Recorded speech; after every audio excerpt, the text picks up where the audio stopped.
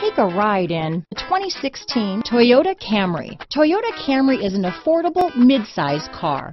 Reliable and great comfortable commuter car.